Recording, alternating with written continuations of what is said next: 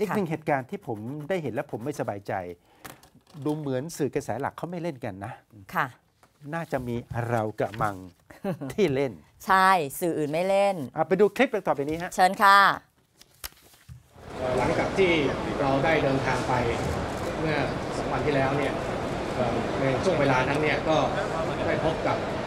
ผู้ที่ถูกจับตัวเป็นตัวประกันนะครับเอ่อ17 ท่านครับ 17 ท่านเนี่ยก็ More good news, while we were there, two other Thai nationals were released and then โอเค โอเคอ่าคลิปนี้ 30 พฤศจิกายน 2566 รัฐบาลปีดรตักรองนายกและรองมวต่างประเทศนำตัวประกันไทยจากอิสราเอลมายืนแถลงข่าว ใช่ค่ะ ไปนำกลับมาเห็นนะคะใช่ไหมปพาครับกลัว่ามาตัตัวประกันไทยที่กลับจากอิสราเอลและมายืนแถลงข่าวร่วมกับดรตักดรปานปรี แต่งตัวอย่างไร เสื้อยืดใส่เหมือนแต่งกันตัวเลอย่างยไร แต่งตัวมอย่างไร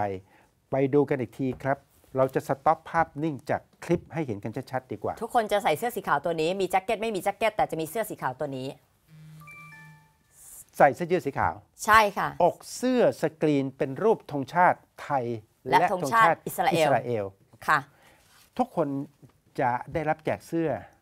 แล้วก็ใส่เสื้อตัวนี้เหมือนกันหมด ไม่เท่าขณะนั้นเดียวกันก็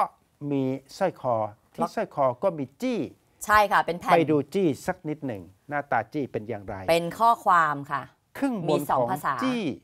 ครึ่งบนจะเรียกว่าจี้ก็เรียกไว้เท่ๆจริงๆมันก็แผ่นเหล็ก ป้ายโลหะคล้องคอแล้วมีอักษรน่ะเป็นสองภาษา ครึ่งบนของจี้หรือของป้ายเป็นภาษาฮีบรู ใช่ค่ะ ครึ่งครึ่งล่างเนี่ยเป็นภาษาอังกฤษ ใช่ค่ะ Bring them home now หมายถึงคำภาษาอังกฤษที่เขียนนะคะ ในส่วนด้านล่างที่เป็นภาษาอังกฤษ แปลเป็นไทยก็คือปล่อยตัวพวกเขากลับบ้านเดี๋ยวนี้ ใช่ค่ะ เหมือนประกาศความสำเร็จแล้วไล่ว่าไปอิสราเอลมีส่วนไล่มาช่วยอืมจึงเพิ่งทราบว่า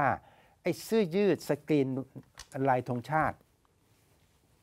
ทางอิสราเอลเขายัดใส่มือ เขาขอให้ตัวประกันไทยที่จะกลับเปลี่ยนบ้านเสื้อตัวเนี้ยใส่เสื้อตัวนี้ ใช่ขณะเดียวกันก็ยื่นสร้อยให้สวม ให้ตัวประกันไทยที่จะกลับบ้านสวมแล้วอก็อกใส่มาตอนเดินใส่กลัทางบบ้านด้วย ใช่เดินทางออกมาที่ให้จะกลับตอนมาไทที่ยตัวประกันไทยจะขึ้นเครื่องบินกลับประเทศไทย อืมให้ใส่เสื้อยืดตัวนี้ลายอย่างนี้ ให้ใส่สร้อยที่มีจี้มีข้อความมีป้ายอย่างนี้ อืมก่อนขึ้นเครื่อง ปรากฏว่าดรตั๊ก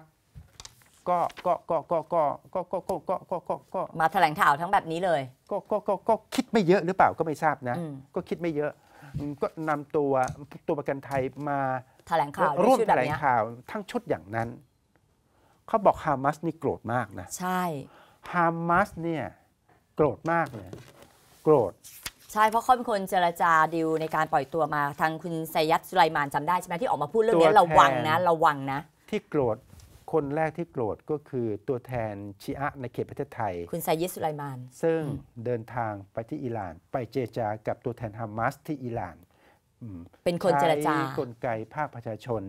ใช้กลไกศาสนาอืมไปเจรจาไปโอ้โลมปฏิโลม ถ้าคุณจะปล่อยตัวประกัน กลุ่มตัวประกันที่คุณจะปล่อยขอให้มีคนไทยด้วยนะอืมฮามาสเขาก็โอเคด้วยค่ะ